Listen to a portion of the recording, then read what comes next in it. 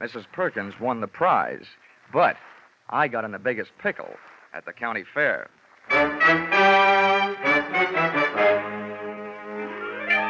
This is another in the adventures of America's fabulous freelance insurance investigator, Johnny Dollar. At insurance investigation, Johnny Dollar is only an expert. At making out his expense account, he is an absolute genius.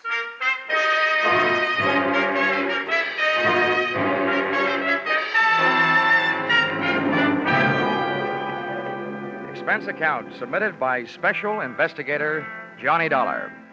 To Home Office, Corinthian Liability and Bonding Company, Terminal Building, Hartford, Connecticut. The following is an accounting of my expenditures during my assignment as bodyguard to Grand Blue Ribbon Champion, Spotted Poland China Hog, Rosie Barron of Iowa. Or How You Cast My Pearls of Wisdom Before Swine. Or Out of the Fire into the Frying Pan. Expense account item one $76.80. Train and bus fare, Hartford to the town of Carver, county seat of Carver County, Iowa. Expense account item two, 250. One Coke, three handkerchiefs, a bottle of salt tablets, and sunglasses, with which to combat the Corn Belt heat. Item three, six bits, jitney ride to the Carver County Fairgrounds. Undoubtedly named that because the band I found in the midst of playing its afternoon concert was only fair. Hey, uh, uh, friend, How's that? I'm looking for a pig named uh, Rosie Barron of Iowa. Tell me where I'll find his cage. Cage. They don't keep Rollo in no cage. Rollo? Who's he? Well, that's short for Rosie Barron of Iowa. Oh, yeah, yeah. Any fool would know that. Uh-huh. Can you tell me where he is? See that building over there, the livestock building? Yeah. You'll find Rollo in the swine wing. Swine wing. Uh-huh. Well, that conjures up a dainty picture. A flying pig. Uh, afraid Rollo won't ever do much flying. Weighs 980. Oh, well, thanks a lot. Uh, oh, neighbor, Yeah? Why don't you try slipping out of that there coat? You won't find it near as sweaty. Oh, yeah. Thanks, Hiram. Oh, he didn't even wait to be my best friend. Hey! Wait, wait, I'll come with you, neighbor. It was 96 in the shade, but things were getting hotter. Shots and screams from the livestock building were the only things that could bring me on the run, with Hiram on my heels. Hey, what do you suppose? First, I ran into a stranger just outside the entrance. Oh, Get out of the way. Let me out of here. There's loose in there. Then I ran in through the door. Somebody do something. Don't just stand there. Where's the sheriff? Oh, Hey, uh, Hiram, Hiram, what happened? Well, well, didn't you see? Didn't you hear? That What? there woman's Mrs. Tiller. Somebody must have stole her diamond brooch. Oh, good. I was afraid somebody might have put the snatch on Rollo. Her husband owns Rollo. Uh, Oh? They must have been taking her pictures of Mrs. Tiller in the middle of a crowd. And, and when they had her smiling real pretty, them flash bulbs went off, and then somebody must have reached around from behind her, yanked the brooch, and started shooting a gun in there. That's a tried and true method of busting up a crowd to help make a getaway. You think anybody saw who did it? Uh-uh, couldn't. Yeah, those flashes would have had had 'em blind as bats for a minute. Oh, uh-oh. There's the sheriff. What's his name? Well, yeah, that's, that's uh, Harry Blewett. Harry Blewett. Yeah. Sounds like a slogan from the Republican campaign. Hey, here, here, you, you. Oh, now, ah, now, ah, wait a minute. ah, Let you- go. When everybody around here's trying to get my coat off. Come on, Sheriff. Loose the haberdasher. All right, now, never mind the fancy talk, young fella. I saw something pass between you and one of the thieves just outside the door. Oh, you're out of your mind. That guy bumped into me. He came crashing out of here, and I happened to be in the way. I'll bet you happened to be in the way, accidentally on purpose. Now, that's an early American comeback. But that's the way it was. Now, look, I won't ask you for a search warrant, Sheriff. You think I got the brooch on me? Start looking. All right, I will. All right.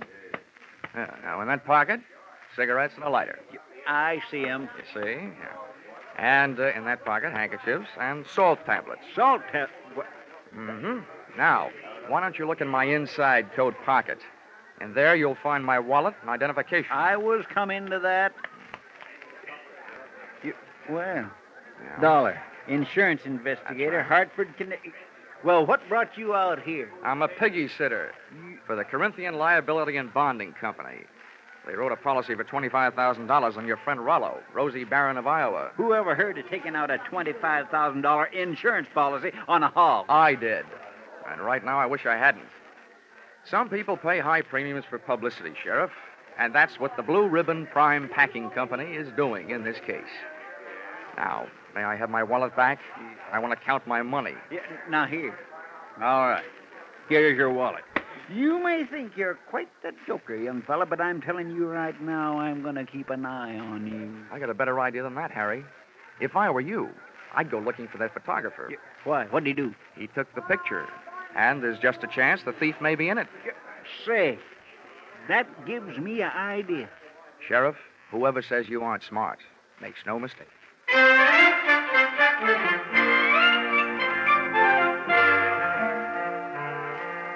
Rollo, the prize porker, wasn't hard to find. First, I followed a few signs. Then it was a matter of closing in on a contented series of juicy, slurping grunts that came blurping up out of a succulent mound of Louisiana yams. Rollo was all fat and a yard wide. His table manners weren't much. He didn't look very smart, but he sure looked healthy.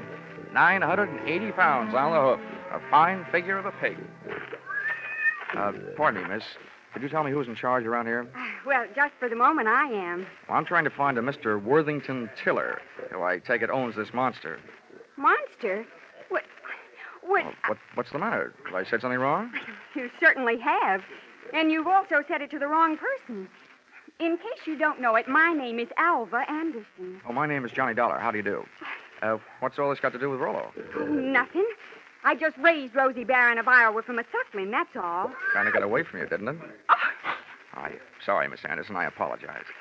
Uh, to you, too, Rollo. I'm uh, sorry about the interruption, Miss Anderson. Some fool made off with my wife's diamond brooch. Uh, oh, uh, how's this excitement affecting Rollo? Oh, I hope he hasn't lost any weight. Well, he took it very well, Mr. Tiller. Oh, good, good. This uh, gentleman wants to see you, uh, Mr. Dollar. Oh, oh, yes. Oh, from the insurance company. That's good, right. good. Well, I'm glad you're here. Uh, we'll have your picture taken right away with my Well- wife and uh, and Rollo. Oh, it'll make grand publicity for Blue Ribbon Prime Packers. Oh, I don't mind having my picture taken. Yeah. Just so long as your wife doesn't mind having people pinch her diamond brooches. Oh, well, then, don't worry about that. It was fully insured.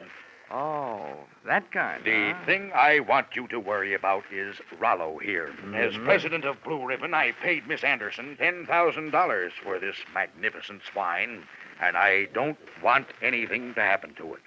You bought him for ten thousand, insured him for twenty-five thousand, and you don't want anything to happen to him? Eh, well, I don't mind paying those exorbitant premiums when I get back the kind of publicity this will bring in. Why, I, yeah, I can see it in the papers now.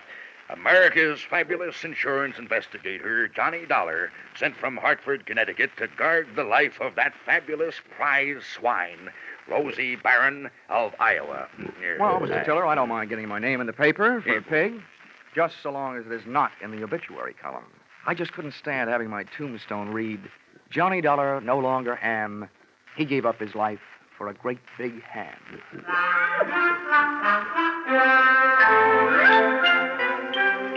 My tombstone tagline was over the head of Mr. Tiller, but it went over right nicely with Alva Anderson, who paid off with a smile. I parlayed that into a conversation, helped me pass the time while guarding Rollo, the poor man's blue boy. By the time it was over, Alva knew a lot about me, and I knew a lot about pigs.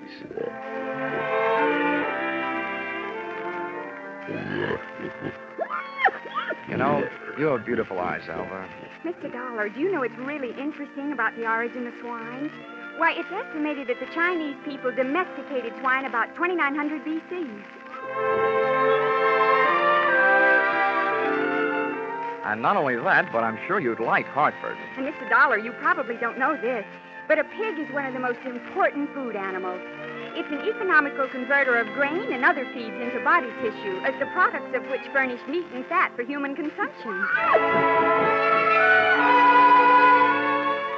Alva, darling, I'll only be in town for a little while. And not only that, but people who say that pigs are dirty don't know what they're talking about. Why, sanitation is essential to good health, rapid growth and development, and profitable production. Oh, Rollo, what have you got that I haven't got?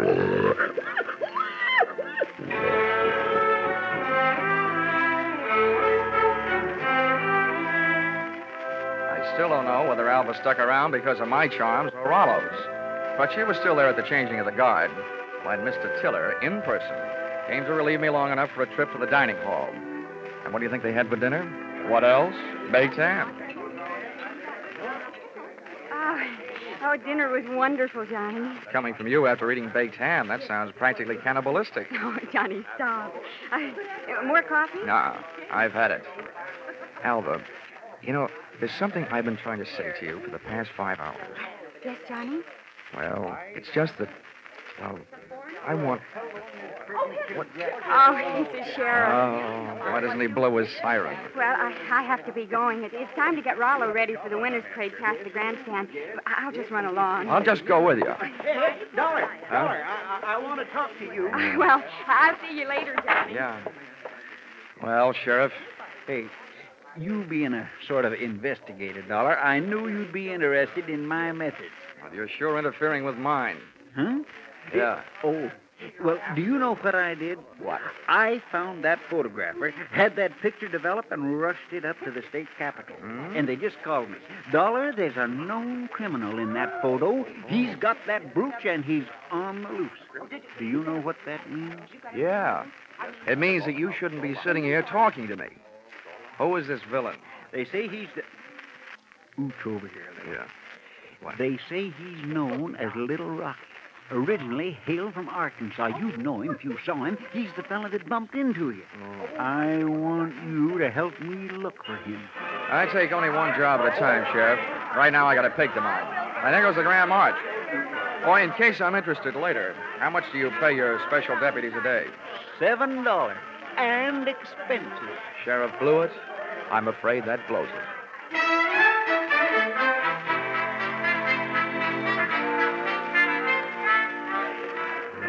Carver County Pickle and Pie winners were lining up to lead the Grand March. By the time I got to the grandstand, down at the tag end of the livestock echelon, there was a shiny white cab and trailer sporting the markings and mottos of the Blue Ribbon Prime Packing Company. And high upon it, perched on a platform and surrounded by a sturdy iron railing, stood that champion, the pride of the pork set, Rollo, Rosie Barron of Iowa. Was lovely. It was divine. I had a feeling that swelled my heart with pride. Here they were, products of the American home and the American soil. A fanfare of foodstuffs flowing from the horn of plenty. Just because of my association with Rollo, I felt that I was playing some small part in this gallant parade as it was started the first leg of its journey. It was inspiring. It was thrilling. It was. Boing! All of a sudden, it was downright frightening. As Rollo's chariot rolled by, I got an eyeful of its driver. It was my comrade in collision, the guy who had put the snatch on Mrs. Tiller's diamonds, Little Rocky from Arkansas. I added to my treasury of thankless tasks by trying to pin a tackle on a five-ton truck. I got a door handle with one hand, running water with one foot, and a clout in the teeth from an unexpected adversary. Knock him loose, Milo. He's on the running board. Hey, what? I was flat on my back. Everybody was screaming and hollering. The truck went crashing to the fence. And Rollo, Rosie Barron of Iowa, was one little piggy who wasn't staying at home.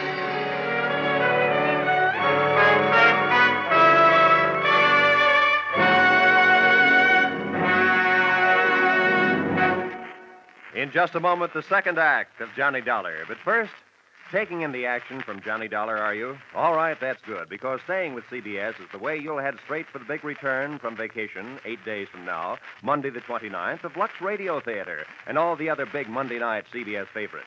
And by staying with CBS, you'll find more action later tonight with Bill Grant of Call the Police and with Sam Spade, who will be heard from on most of these same CBS stations.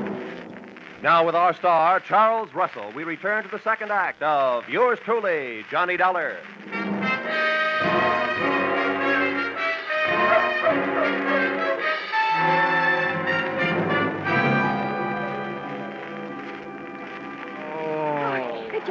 Johnny, are you all right? Can you get up? Oh. Well, the spirit's willing. I'm not sure about my spine. Here, let me help. Oh, I'm the guy who goes around telling kiddies never to hitch rides on trucks. Well, nobody can say I didn't make a dent in Iowa. Oh, it was wonderful the way you tried. But what are you going to do now? Right now, I don't know. The only place I can think of at the moment where I might find a hot pig is a barbecue stand. Oh, this is no time to be funny. Well, look, up until now, all the laughs are on me, kid, so let me be the judge, huh? Well, what are you going to do? Well, first I'm going to practice my arithmetic and see what adds up. You can't unload a stolen pig in a pawn shop. So, question number one is where do you unload it? Where would you go? Well, where would I. Well, I, I'd never thought of it. Well, here's what I figured. The Rollo on the hoof is too well known to peddle for anything like the dough he's really worth. I mean, he's not like a big diamond that you can cut up in little. Or is he? What is the going price on pork? Uh, the market this morning was at twenty three fifty. Oh, well, that kind of money hardly sounds like Little Rocky's kind of project. But maybe things are tough. By the way, Alva, have you ever been in Arkansas by any chance? Why, ne- why do you ask? Just wondered. Hey, Dollar, Dollar, just a minute. I want to Oh, talk to you. barnyard bloodhound himself. Yeah, Sheriff? Uh, would you mind, Alfred? I was just leaving. How could she be that cold on such a hot night? Huh? What's bothering you, Sheriff? I saw your little performance, Dollar, when you leapt at that truck. Just how hard was you really trying? How hard was I? I ought to punch you in the nose, badge or no badge. Uh, uh, now, now, don't you go getting huffy. I just want you to know that I don't fool easy. When I'm on a case, I'm suspicious of everybody. Yeah, that must be rough on your wife. How often do you have her in handcuffs? Huh? Well, uh, Now, look, Oh. Sheriff, all I need from you is the use of a car so I can go looking for old Lardhead. no, no, you don't. There's enough missing around here as it is. Rollo, Miss Tiller's jewelry, and I ain't about to add a county vehicle to the mess. And besides, I want to keep an eye on you. Good. You might learn something. Come on. Here, here wait, wait a minute. Where are you going? Over to the Ferris wheel. That truck hasn't been off the fairgrounds more than a couple of minutes. I want to get a look at the countryside. Ferris wheel. Say, that gives me an idea. I hoped it would. Come on. Say, uh, you know, Sheriff, I don't know very much about this farm side ferreting racket. Well, there's more to it than meets the eyes, I can tell you that. Oh, well, I bet there is. Tell me, didn't I see a feed trough on Rollo's truck with a lot of mash in it? Well, now, let's see. If he ate yams this afternoon, he'd eat mash tonight, all right. Does mash kick up any kind of a smell? Oh, sour as swill. But the pig seems to like it. Uh-huh. How does this sound to you, Sheriff? Suppose right after you take your ride to the top of the Ferris wheel to case the countryside, we were to get ourselves a nice hungry pig. Say, that gives me an idea. We could take that pig and he could smell that mash in the air and sniff out the trail of that truck. Sheriff, if you aren't a genius, I wouldn't be surprised. Oh, Shaw. It was planting time in Iowa that night, at least for ideas, two of which I had planted in the not too fertile mind of Sheriff Harry Blewett. And as long as it took us to walk from the trotting track to the Ferris wheel, it came harvest time for notion number one.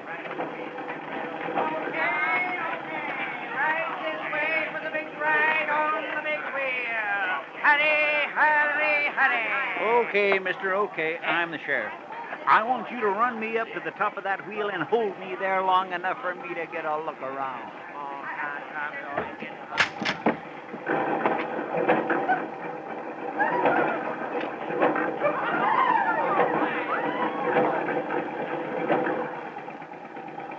When the wheel came to a stop with Harry Blewett sitting in his little cage at the top, I pulled a low trick on the high sheriff. I bought a pink lemonade from the juice stand next to the Ferris wheel, walked over to the motor that rolled the big heap, unscrewed the cap on the gas tank, and gave it a big, long drink.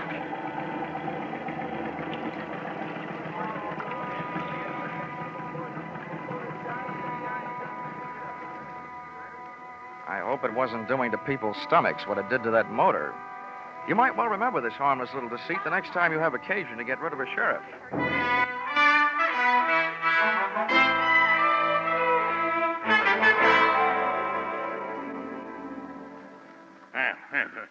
This kind of publicity is a little too expensive, Dollar. I demand that you do something. Now, don't worry, Mr. Tiller. I am going to do something. Yes, well, And I'll sure. thank you to remember that the only ones who stand to get hurt right at this point are the insurance companies that wrote the policies on your pig and your wife's diamond brooch. Why, Worthington, I hadn't thought of that. Huh? Why should we worry? My brooch is insured for way over the value, dear. We oh, hadn't. Hortense, You keep flapping that loud tongue of yours, and the first thing you know, they'll be accusing us. Why, they wouldn't dare. Oh, yes, we would, Mrs. Tiller. But we're just not the A type. to- $15,000 profit on a pig and whatever else you could make on your jewelry might make anybody the type, Mrs. Tiller. I Now, beg now, your now, now, see here, Dollar Dollar. I've had just about enough of your slanderous implications. I have a few thoughts you might profit by. Go ahead, Worthington. I'm always interested in profit, Tiller. Uh, My father had the Yeah. same thing happen to him back in 1902. That's right. Remember, dear? Yes. I- In Nebraska. He bought a prize pig at a fancy price. And then the scoundrel that sold it to him turned around and stole it back. Hmm. There, see? See? What do you think of that? Hmm? Would this Huh? be uh, a suggestion that we throw the young lady who sold your pig to you in the pokey on the strength of something that happened 37 years ago? Well, That's, you... that's for you to decide, Dollar. Right. Just don't say I didn't warn you. Uh huh, I see. Yeah. If you don't have an orchid to pin on a young lady, try suspicion.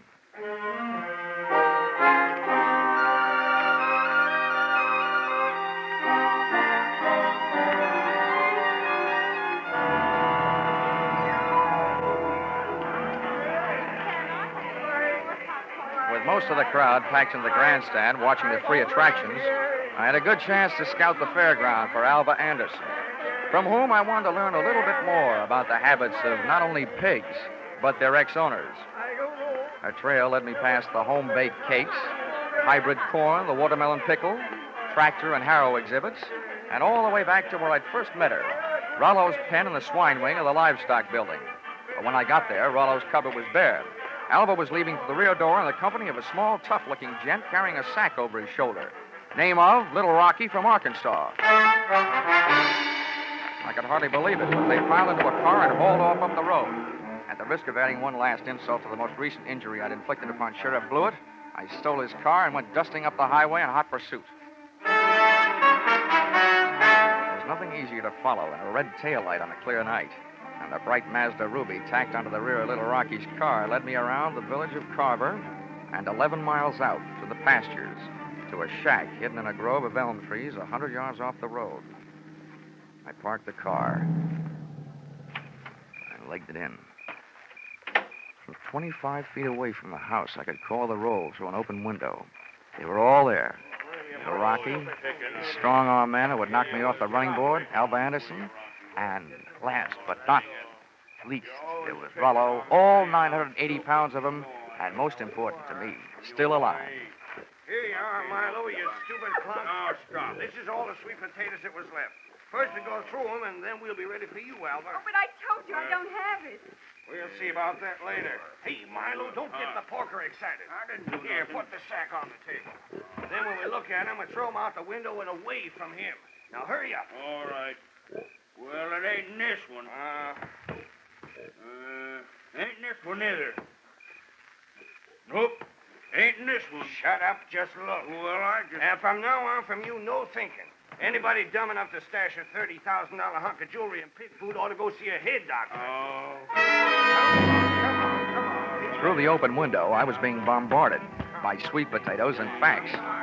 While making a getaway after ripping the brooch from Mrs. Tiller's throat, Little Rocky's accomplice had suffered a sudden attack of panic and had hidden the brooch in one of Rollo's lunchtime yams. Whether that yam was inside the piggy or out, they and I were apparently just on the verge of learning. Uh, that does it. Yes. Ain't here. Then that means. That means your little friend here had a $30,000 snack today, which right now is giving me a great big bellyache.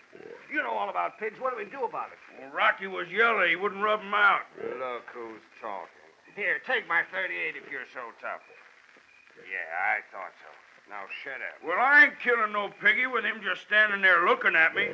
If he'd only make a break for it, I'd mow him down. Ah, you. Now look, baby, we'll kill him if we got her.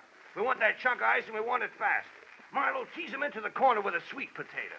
We're throwing them all out the window. Oh, please, Mr. Rocky, You don't. shut up too and sit down. Close your eyes if you want to. Oh, please, Mr. Rocky. In the manner of Sheriff Blewett, I had a idea. Given to me, of course, by Rocky. Here. Alva was sitting in the corner. Rollo was scratching his side by rubbing it against the opposite.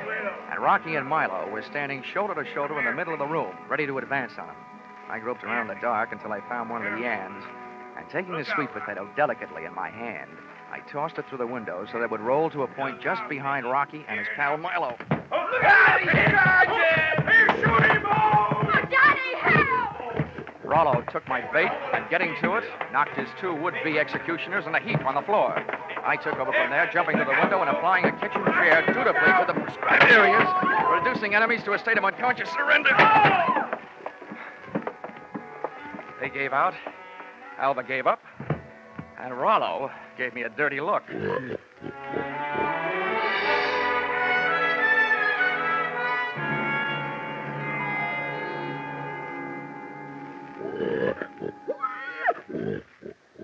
Well, Mr. Tiller, here he is, safe and sound, good as new, fat and sassy. Well, well, good, good. Congratulations. And not only that, but in him someplace, he not only has a good fighting heart, but also that diamond brooch of your wife's. Hmm, oh, yes, very interesting. It's very interesting.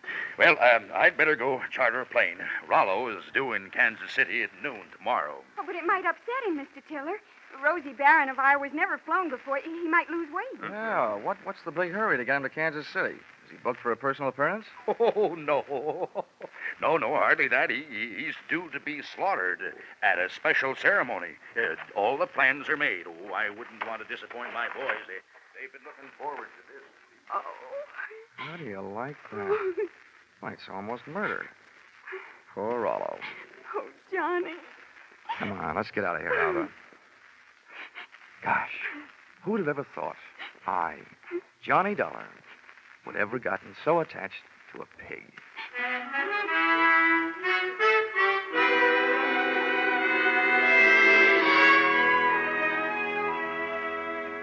Expense account, item four, 350. Dinner for Alva and me. A vegetable dinner, by the way. And speaking of that, reminds me, if you find a $30,000 brooch in a pork chop, it'll only mean that the Blue Ribbon Prime Packing Company didn't have much luck when they went looking for it. Expense account item five, $20. One new gold plated badge, which I sent to Sheriff Harry Blewett, appeasement, for having stranded him atop that Ferris wheel, for stealing his car, and for suggesting that he use a hungry pig for a bloodhound. Oh, the porter followed the mash scent, all right. Next morning, they found Sheriff Blewett searching an old mash factory, eight miles the wrong side of town. Um, item six, $76.80. Bus and train fare, Carver, Iowa, back to Hartford, Connecticut. But I'm still wondering every morning at breakfast time, what else can you eat with eggs? Except ham or bacon or sausage. And maybe you don't think that's a problem, having known a certain champion named Rollo, Rosie Barron of Iowa. Yeah, expense account total $1,463. Yours, um, truly, Johnny Dollar.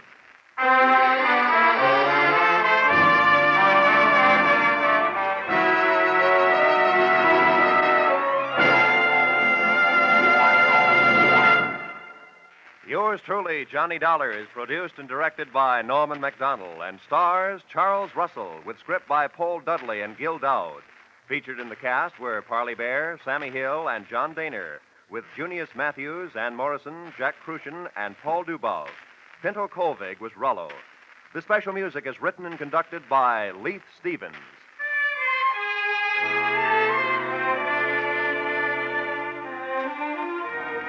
Be sure to be with us at the same time next week when another most unusual expense account is handed in by. Yours truly, Johnny Dollar.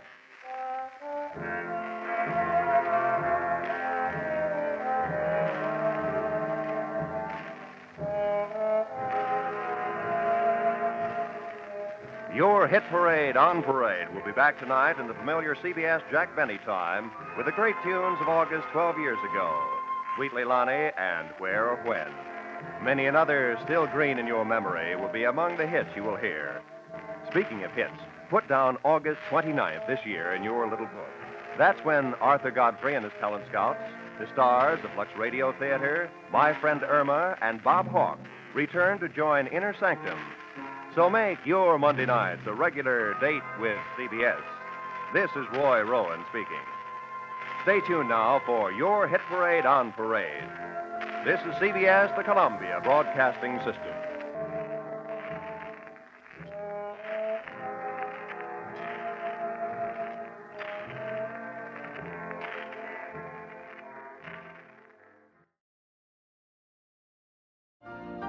You've been listening to the OTR Gold Network.